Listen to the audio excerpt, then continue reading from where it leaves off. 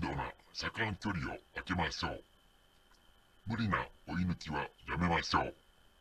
交通ルールを守りましょう。